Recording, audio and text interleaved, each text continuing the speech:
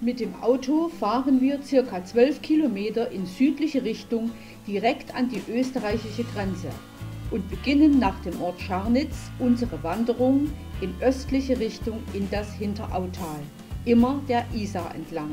Eine kleine Brücke über der Isar in Richtung Scharnitzer Alm bot uns den ersten fantastischen Blick über den türkisblauen Fluss mit seinem weißen Kiesbett, umrandet von Wald und Bergen. Hier wurden früher die Flöße mit Bau- und Brennholz für Bayern zusammengestellt. Vorbei an der rustikalen Hütte der Scharnitzer Alm, über bunte Almwiesen, zum Teil auch mit seltenen Bergblumen,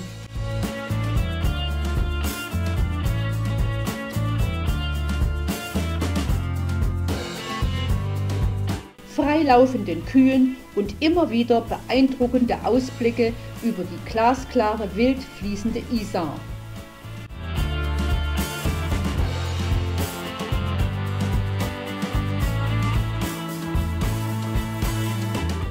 Es war an diesem Tag sehr heiß, aber im Schutz des Waldes und immer in Wassernähe war die Hitze gut zu ertragen. Dennoch entschlossen wir uns auf den parallelen Rückweg, also über diese schöne alte Holzbrücke und auf die andere Seite der Isar.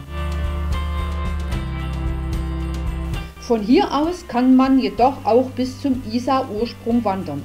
Das wären nochmal circa 10 Kilometer weiter in östliche Richtung mit einem Höhenunterschied von circa 180 Metern. Das Ziel heißt dann bei den Flüssen. Dort treten mehrere kleine Bächlein aus dem Karwendelgebirge heraus. Das Wasser sickert durch das Kalkgestein, um dann am Rand der Berge herauszufließen und sich in einem Fluss zu vereinen. Und das ist der eigentliche Isar-Ursprung, also keine Quelle, wie man denkt.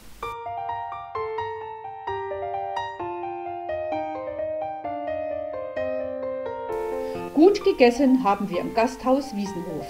Sehr zu empfehlen.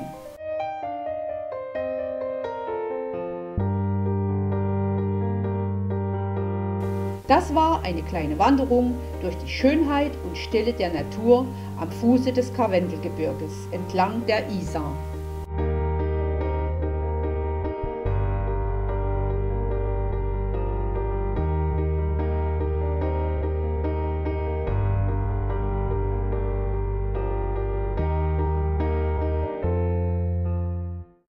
Heute ging es drei Kilometer nach Mittenwald zum Kranzberg Sessellift. In luftiger Höhe schwebten wir über die Baumspitzen und Almwiesen. Im Hintergrund das Karwendel, Wetterstein und Estergebirge bei herrlichem Sonnenschein bis zum Kranzberg in 1250 Meter Höhe. Das war unser Ausgangspunkt für eine Wanderung durch herrliche Gebirgslandschaft mit kleinen Wildbächen und bunten Almwiesen.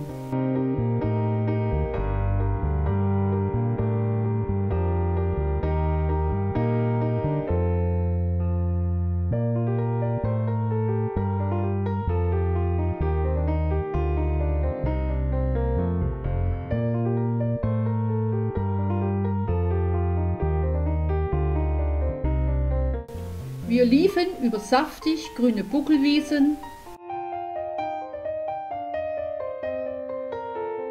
vorbei an einer kleinen Bergkapelle mitten im Wald,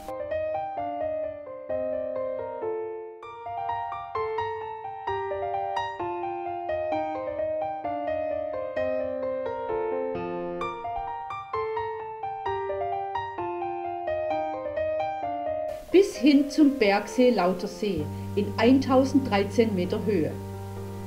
Auf der Terrasse der Lauterseealm stärkten wir uns, um den Rest der Strecke bis zum Parkplatz vom Kranzberg Sessellift relaxed zurückzulegen.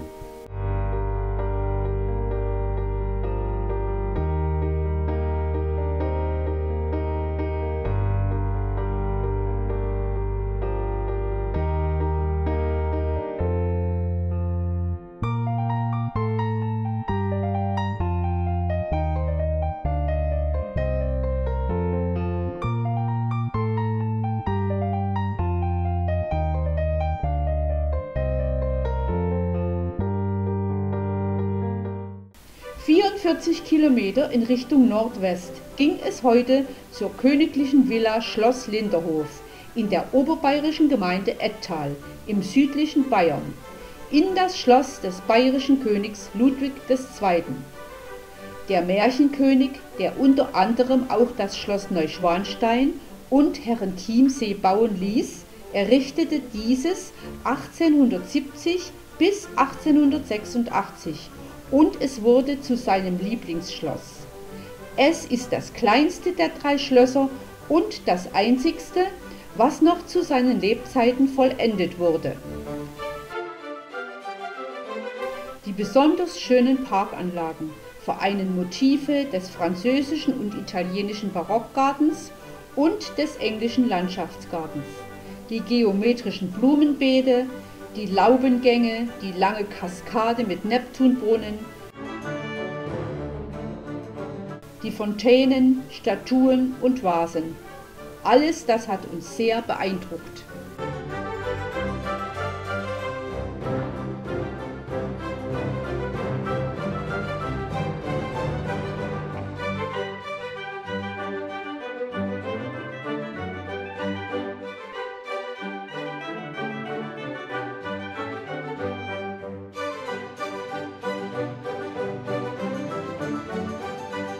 Außergewöhnlich sind dann noch die Parkbauten, unter anderem der maurische Kiosk und die Venusgrotte. Diese wurde gestaltet nach dem ersten Akt von Richard Wagners Tannhäuser.